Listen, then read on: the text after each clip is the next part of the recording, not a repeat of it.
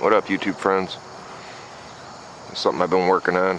Been wanting to build a little micro bat wing. I got the thrust vectoring on there.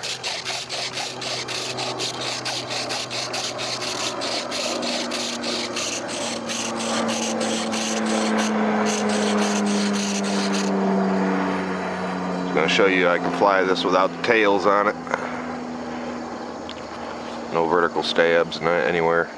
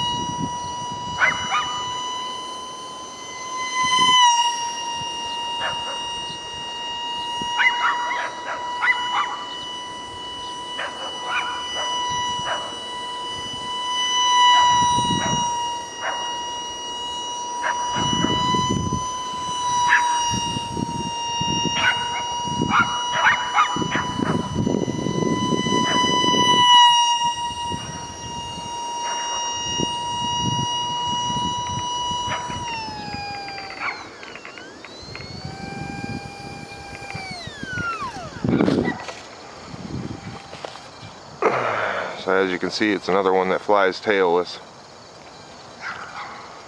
I'm going to end up putting tails on it though. I want my stabilizer fins. And I'm going to still put a canopy and fuselage here.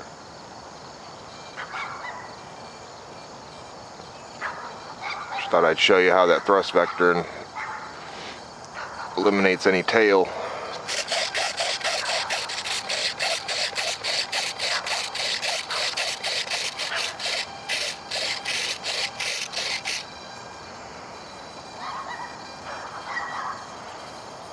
One cool little bat wing.